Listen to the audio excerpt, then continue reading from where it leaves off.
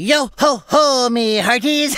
I've got a jolly yarn for ye. It be another favorite called The Adventures of Mississippi Skip and His Pirate Ship by Ipswich Klipspringer V.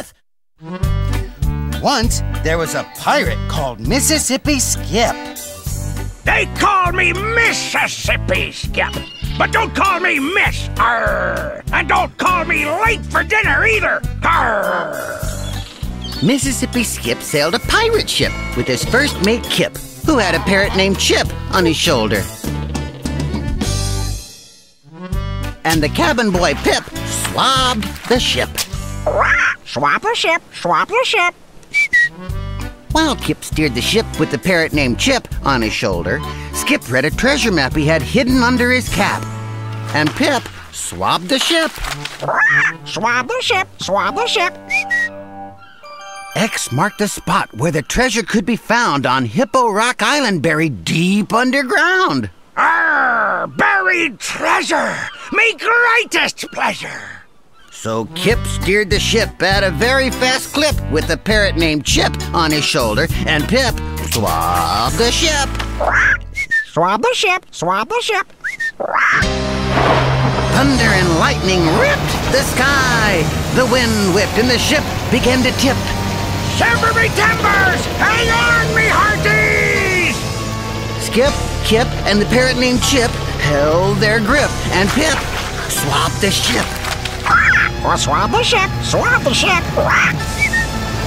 Another huge wave picked up the ship and carried her out of the storm to the shore of Hippo Rock Island, where it was sunny and warm.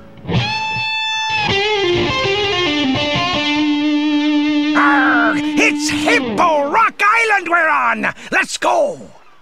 Skip looked for the X under every rock and boulder, and so did Kip with the parrot named Chip on his shoulder. Skip searched the lowland, Kip searched the highland, and Pip swabbed the island, Swab the island, swab the island.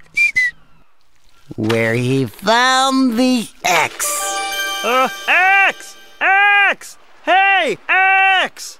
They dug and dug and dug in the ground and found what they longed to behold a treasure chest that was dripping with jewels and filled to the brim with gold. Arr! Yippee! Let's hear it for Pip!